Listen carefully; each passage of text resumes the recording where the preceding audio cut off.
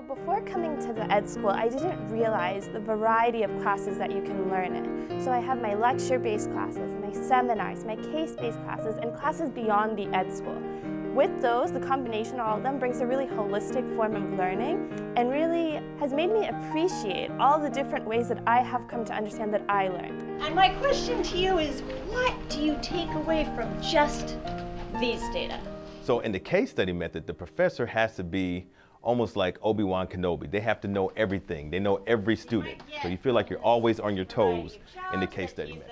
I love that course with Monica Higgins it allowed me a chance to study the material, but then the fear of being cold called was incredible. So the first day of class, I made sure I raised my hand no matter what, just to get over the fear of being called. But then the learning environment was so dynamic, I couldn't believe it.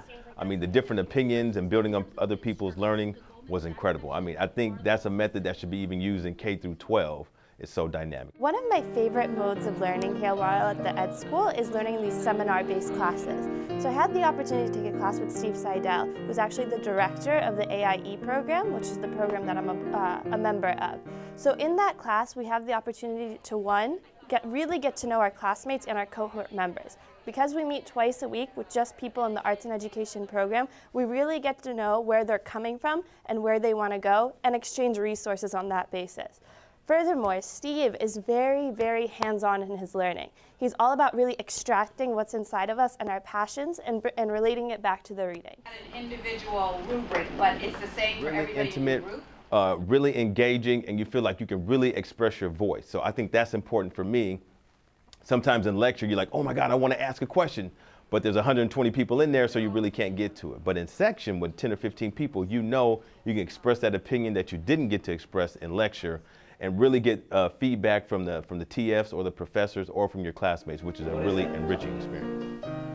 I also had the opportunity to take a class over at the college with Professor Khanna, who was the director of the South Asia Initiative. It was during this class that I really got to mingle with other students from across the school.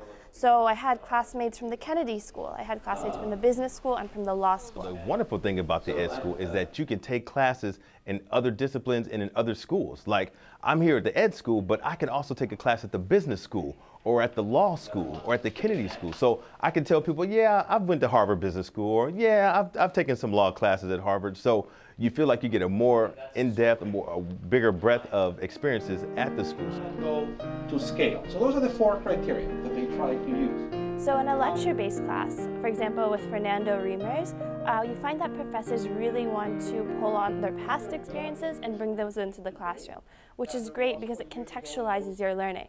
Um, Fernando was at the World Bank before he came to the ed school, so he talks a lot about the the broad scheme of education in the international space. And it's really awesome to see what we're learning in the class and in our readings and how we can actually use that outside of the walls of a classroom. What I like basically about the learning environment here is that I've been pushed in so many different ways. So I've been pushed through the, through the case method of looking at things through someone else's lenses. I've been pushed through my cohort in terms of getting in touch with my feelings, the inner person of who I am. And then in other classes, we ask big questions like, what is the purpose of schooling? So it made me really wonder, wow, what is the purpose of schooling? Like you, you think you know these things, but you really don't. So each class has a way of stretching you uh, and asking you questions that, that lead to more questions. And that's the craziest thing about HGSE for me, is I came here to get answers and I'm leaving with more questions, but they're great questions, so I appreciate it.